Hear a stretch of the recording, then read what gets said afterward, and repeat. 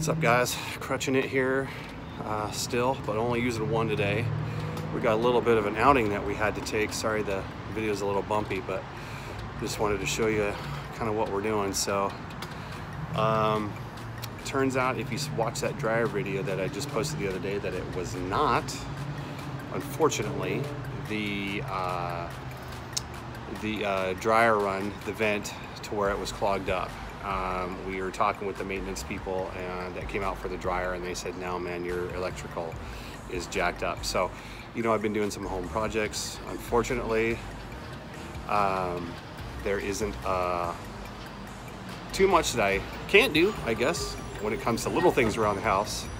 And then, um, so one thing I don't mess around with is electrical. So I actually got my old buddy Doug is coming out to look at my electrical today to see what's up. But in the meantime,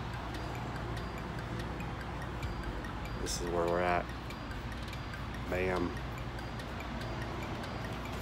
Laundromat. Check Chicken later.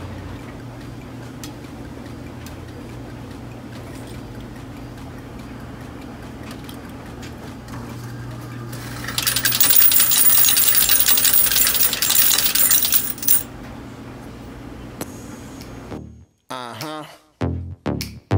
Uh-huh. Talk to him. I mean, sometimes you got people going against you and you just gotta go above and beyond all that. Let's go. Straight up the top, just so you know ain't no stopping us. Yeah, I see you been watching us. You could try, try, try, but you better off. I ain't a spectate from the audience. Why you hating from the bleachers? Cheerleaders is loving us. Grab a pom pom, baby. Last year we was last place. This year we in first. We was hungry for the title, now we quenching our thirst. You was on your best behavior, yeah, we on our worst. Killing, killing the competition, rolling around in a hearse. Life is like chess. We got a successful day at the laundromat. Woo! Don't be jealous, everybody. Don't be jealous that I had to spend several hours at the laundromat, okay?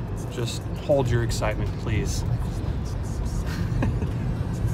so come on over to YouTube and subscribe to my channel, W A A Z W A. That's Wazwa. It's lots of fun. Do it.